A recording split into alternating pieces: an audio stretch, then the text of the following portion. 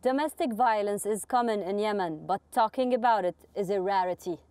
In our next report, we tell you the story of Al-Anoud Hussain Sheryan, who was disfigured by an acid attack in the war torn country. Let's take a look.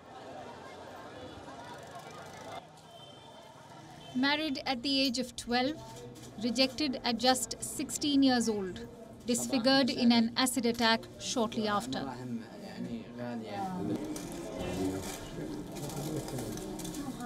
Al-Anoud Hussain Sheryan's story is a shocking one.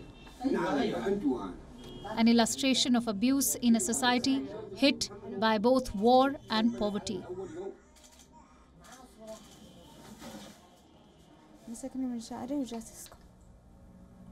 He grabbed me by my hair and poured the acid on me while laughing.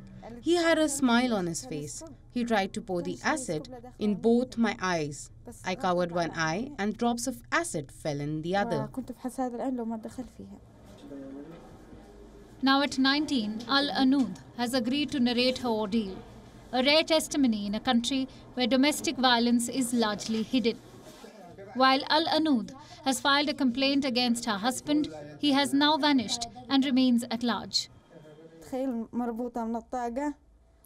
I was tied to the house window by a very long chain. I would go to the kitchen, cook, and go around the house cleaning, wiping, vacuuming, and going to sleep in the room of my husband's wife, chained. It wasn't a married life I lived, it was a slave's life. Uh,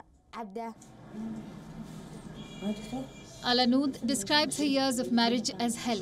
After being hospitalized at a clinic where she was once employed, she is now waiting to undergo three plastic surgery operations. According to Al-Anoud's doctor, the procedures will not only be complex, it will also be very expensive in the war torn country. But even with the scars gone, the psychological effects are irreparable.